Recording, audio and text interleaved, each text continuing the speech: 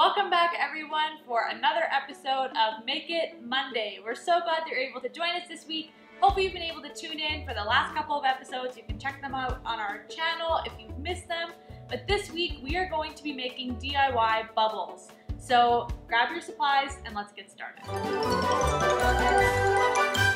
All you're gonna need today is some water, some corn syrup, and some dish soap. I found clear dish soap at the grocery store, but you can use whatever kind of dish soap you have at home.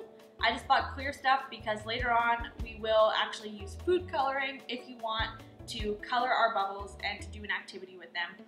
But any kind of dish soap at home is gonna work for you for this bubble DIY, and that's all you're gonna need.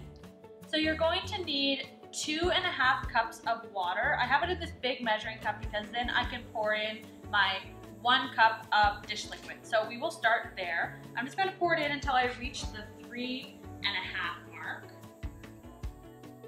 Perfect, so that's one whole cup of dish soap.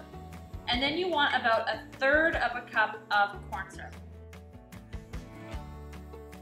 Okay, that's all you're gonna need to do to make your bubble mixture and you can use it just like this.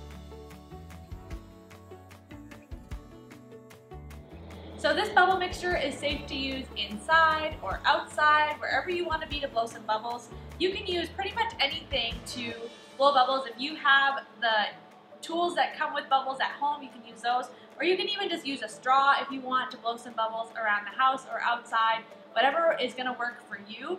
But now we are going to show you how you can actually paint with bubbles.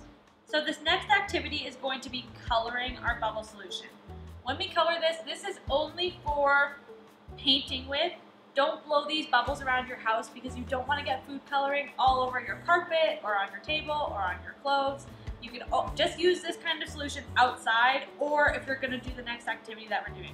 Otherwise, you can just use the plain solution that we made at the beginning of this video in your house or outside because it won't make a mess. But what you're to do is take some food coloring and color your different bowls of bubble solution so that we can do this next activity.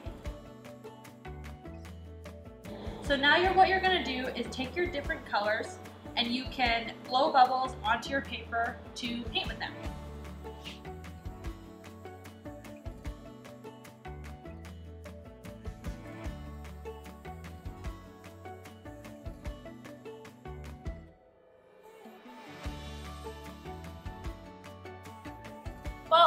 Glad that you're able to join us for this week's episode of Make It Monday, where we made DIY bubbles. If you decide to make it at home, make sure you tag us on Instagram so we can see what you've made. And don't forget to follow us there for any more updates, and we'll see you next time.